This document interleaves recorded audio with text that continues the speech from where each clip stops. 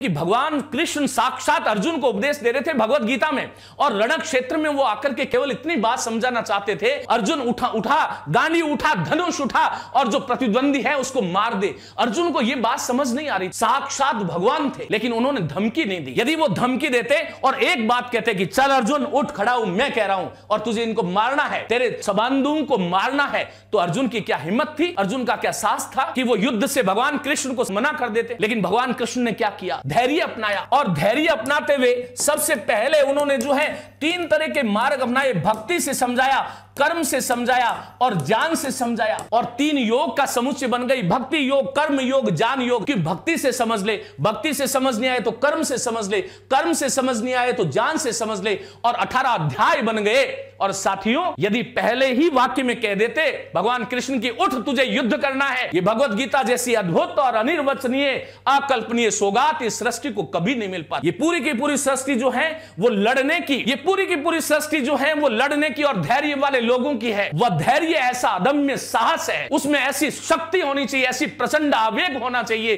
कि जीवन में आपको कोई हरा नहीं सके। बस एक ही चीज़ मेरे मस्तिष्क में चलनी चाहिए, चरई व्यती चरई व्यती चरई व्यती। भक्ति से समझाया, कर्म से समझाया जान से समझाया, जब अर्जुन माना ही नहीं। भगवान श्री कृष्ण ने जब भक्ति, कर्म जान तीनों तरह का रास्ता अपना लिया, तब भी अर्जुन की बात खोपड़ी में नहीं आई। तब वो क्या कहते हैं? सर्वान धर्मान परित्यज्य मामेकम शरणम व्रज अहम त्वाम सर्व पापे भो मोक्षिशामी कि अर्जुन, अब छोड़ तुझे भक्ति समझ नहीं आई, कर्म समझ नहीं आया, ज्ञान समझ नहीं आया, कोई नहीं, तू सभी धर्मों को छोड़ दे और मेरी एकमात्र शरण में आ जा।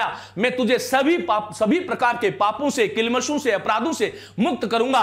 तब अर्जुन ने हथियार उठाया और युद्ध के अंदर वो प्रविष्ट हुए और तब हमारा इतिहास आज हमारे सम्मुख ये बना।